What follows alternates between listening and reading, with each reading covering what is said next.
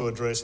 But if they were going to be taking a roadmap for the future, Fremantle have given them that roadmap. They made a decision two or three years ago. It was a bold decision. We're going to get rid of a couple of players that would have made them better player, better club.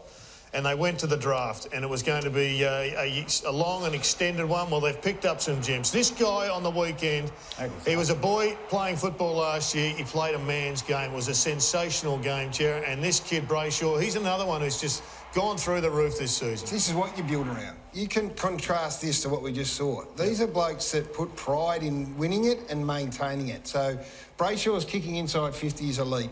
Cerra was doing Dustin Martin inside 50. Serong's been outstanding. So they have drafted and gone to Yeah. draft and got players that can do the sorts of things that there are many senior players that can't. Well, here's the- the list of 22 and unders, and there's some good names on there. Right now, there's a kid called Brennan Cox who probably wouldn't have been getting a game had it not been for injuries to Hamling and Griffin Logue, one of which is 22 or under. Their challenge is going to be to keep him.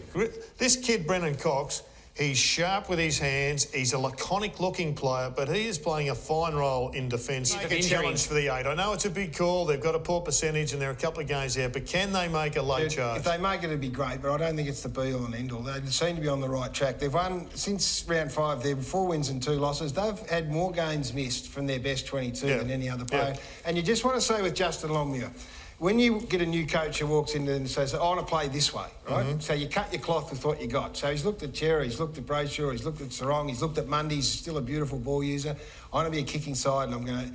And then they go and implement. So they're the number three kicking side in the comp. Coming off, number 18 last year. So, so what do you think came first? Do you think that's his philosophy, Longmuir, coming from Collingwood, who play a similar style, or do you think he's walked in and said, "This is what I've got. I'm going to coach I that think way"? it's I think it's both. I think he's he's gone with the general basis philosophy that he likes to kick the footy, and then he's looked at what he's got and he said, "Now I really like." I think they they're young up. enough. I think they're young enough to mould as well. You know, he's gone in with a very young group. He's able to mould. I was pretty impressed that round one game did against Essendon. But you know, last week when they beat Collingwood, you know, every single time there was a stop play, they were set up beautifully. Yep. You know, and, and then they moved the ball really well, as, as evidenced by those replays. So he's had a tremendous influence, Longmuir, He's had a good on a very short.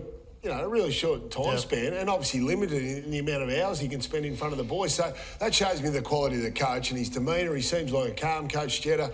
Um, so he's done a fantastic job. And they just got Nathan Fyfe. We've had the Dangerfield discussions. Fyfe's played 31% of his time forward, the most he has since 2011. And when you've got Cerra and Brayshaw and Serong and these blokes through the middle, you can.